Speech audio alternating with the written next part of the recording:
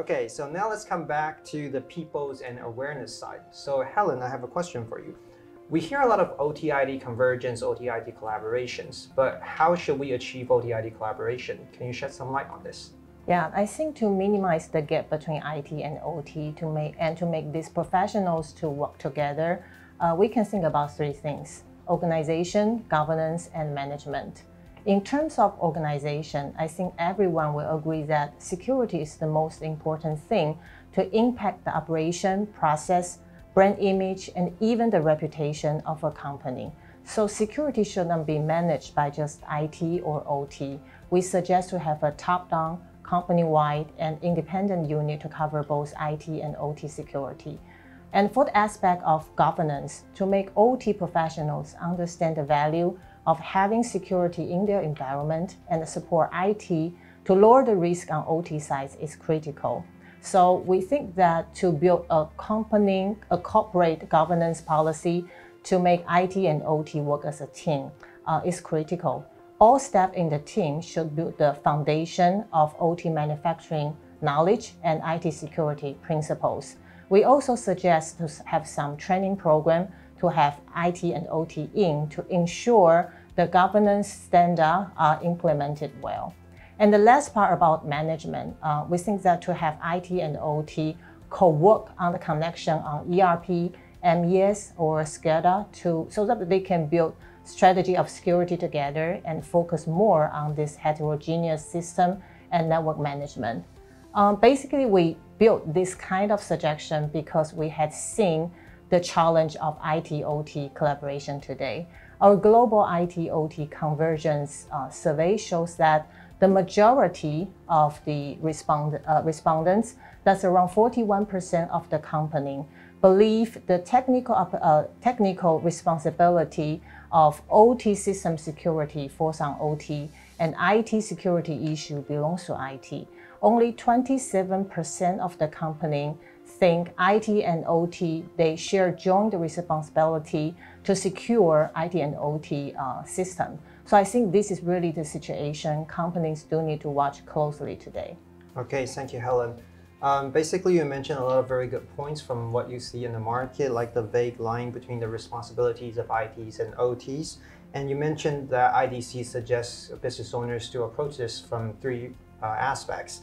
That is from organization, from governance, and also from management, right? Yeah. And also a dedicated team that has all the professionals would be the best thing to do. Yes. Okay. All right. So Vera, what do you guys at Moxa see in the market? Are OT and IT personnel working hand in hand with each other? Yeah, I think it's a, it's a great question and it's uh, very interesting to see how different companies approach uh, on the responsibility topic. And uh, I agree with the survey result that we actually see a lot of companies where they put IT in charge of the entire security. And uh, I, I also see that it's not really working well. And there are two factors why it's not working well. The first factor is that when IT is implementing some kind of new countermeasures or new policies to OT, and uh, OT would naturally resist to that kind of change because they don't really understand why they need to do it and they have their own concerns about the impact on their system. Okay, uh, and the second, uh, uh, second issue with this approach is that for IT people, it also feels you know, OT is something, you know, that we shouldn't touch. There are so many concerns and they are afraid to harm the system to cause operational downtime. And I witnessed several projects where so-called OT security actually ended on the industrial DMZ zone. So the whole project stopped after the industrial DMZ was built and they considered that the air gap is achieved again so there's nothing else to handle. But in reality, of course, there are so many vectors inside the OT itself that could be exposed. So I totally agree that the best approach is when there is a dedicated cybersecurity team consists of both OT and IT professionals, and these people can learn from each other, and then can they can uh, leverage the best cybersecurity knowledge, probably coming from uh, IT, and they also can evaluate the risk in OT when they implement any change.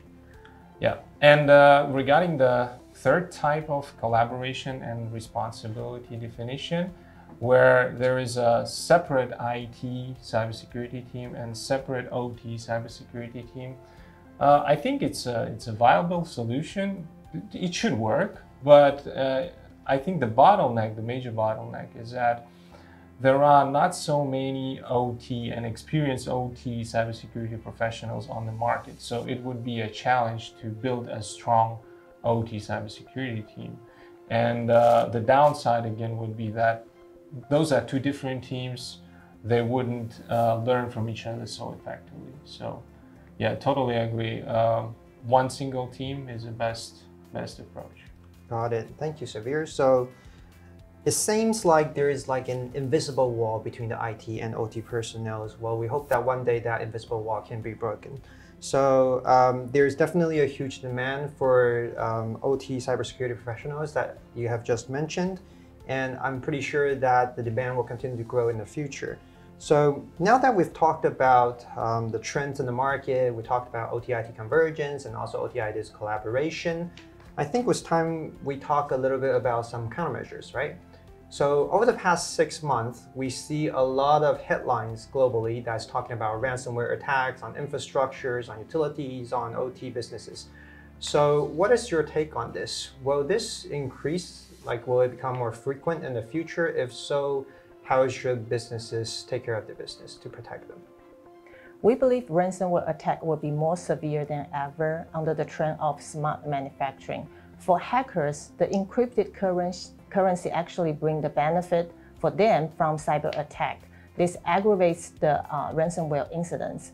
We basically define OT cybersecurity as five stage: prevention, detection, mitigation, uh, response, and pre, uh, predictions. Uh, for short term, we suggest the industrial enterprise can focus more on prevention and detection, such as leverage IDS, UTM solution to enhance the visibility and network segmentation. In the meantime, to invest more on patch and vulnerability management to secure the legacy system. And for long term, since we believe IT and OT will collaborate more, so it's important to build an integrated solution and up to up to date uh, threat intelligence, such as SIEM, SOC, and uh, threat intelligence platform. This is to support OT security team to easily monitor the security status and lower down the risk. Thank you, Helen. So Sever, now can you walk us through one, will ransomware attacks increase in the future and to what should business owners do? Yeah, unfortunately, I have to admit that uh, we also believe the ransomware will have more impact on OT.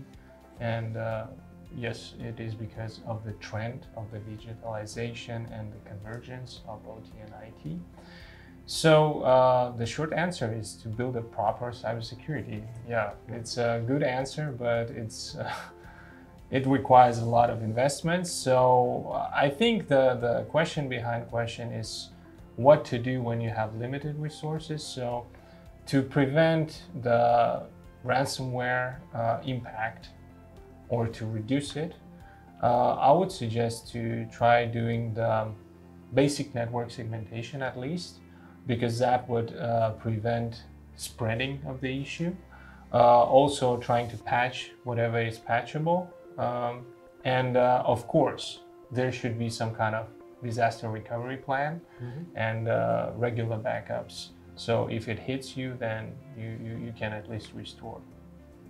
Okay, Sever, thank you very much. Now, you just mentioned a few keywords. You mentioned network segmentation, also patch management and disaster recovery plans. Can you please shed some light on the solutions or services that you see in the industrial cybersecurity market right now? Yeah, uh, we, we have our own view on the cybersecurity solutions uh, and, and the way we represent uh, what, what vendors I usually have to offer is slightly different. We don't define it into different stages. Rather, we try to map those products or solutions to the Purdue model. Mm-hmm. Uh, and usually we focus only on the levels one to three. This is where OT belongs because we mostly deal with OT, um, yeah, OT people. So uh, the way I personally like to uh, explain uh, cybersecurity solutions is uh, through these four layers. So uh, the first layer of cybersecurity solution in OT would be the host protection. And uh, here it could be anything starting from proper configuration of the host or device and of course patching it. And um, it could be improved with uh, additional software-based countermeasures like anti-malware, antivirus, uh, OT grade, that's important. Uh, or it could be a hardware-based countermeasure. Uh, usually it's like uh, IPS or transparent firewall, which is put in front of the critical asset. So this is how we can protect the hosts. And the second layer would be to protect the network access. And usually that relies on the functionality which is built in into the modern industrial Ethernet switches, something like ACL, port security, and so on. Uh, the third layer would be about the segmentation. And here uh, I put all the products related to you know uh, network segmentation um, technologies like um, firewalls. Mm -hmm like uh, VPN routers. Some customers, they still need remote access and that has to be secure. So those kind of products and, and data diodes. Mm -hmm. So all those products, they help you to build the segmentation in the network. And finally, the fourth layer is more related to the software and to holistic management of security uh, for the whole site. So uh, I would put IDS over there, um, security management, policy, centralized policy management, those kind of software. So this is how we see uh, the holistic OT cybersecurity portfolio and uh, we believe it's a little bit easier to understand when you can actually show people where those products are implemented in their system. Okay, thank you, Sever. Basically, you mentioned a lot of critical points in your talk over there. Um, you mentioned a very, very good one that is a very secure remote access, especially during the new normal. I believe secure remote access can benefit a lot of uh, different companies at this time.